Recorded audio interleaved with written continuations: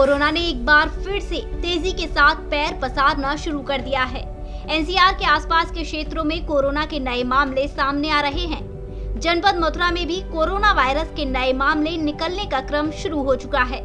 सोमवार को मथुरा में कोरोना वायरस के दो नए मामले सामने आए हैं। इनकी टेस्टिंग गाजियाबाद में की गई थी, क्योंकि मथुरा धार्मिक स्थल है।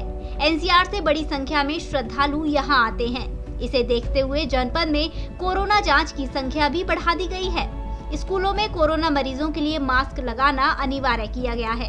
इसके साथ ही जिला विद्यालय निरीक्षक व बेसिक शिक्षा अधिकारी को स्वास्थ्य विभाग द्वारा निर्देश दिया गया है कि कोरोना के लक्षण युक्त बच्चों के संबंध में जल्द से जल्द स्वास्थ्य विभाग को जानकारी दी जाए।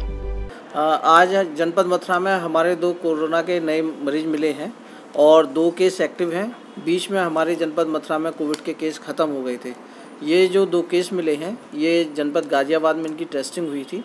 चूँकि हमारा जनपद मथुरा यहाँ धार्मिक स्थान है और एनसीआर से लगा हुआ है, हमारे जनपद के आसपास के जितने भी एनसीआर में हैं, सभी जगह केसेस की संख्या बढ़ रही है।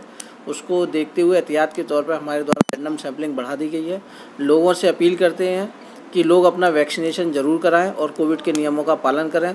जैसा कि सरकार द्वारा भी निर्देशित किया गया है कि लोग मास्क जो है स्कूलों में कंपलसरी कर दिए गए हैं। इसके अतिरिक्त हमारे बी एस ए और डी आई एस महोदय से अनुरोध किया गया है कि उनके स्कूल में अगर कोई बच्चा खांसी, जुकाम, बुखार से ग्रसित है तो उसकी सूचना दें उसका कोविड का टेस्ट कराएँ।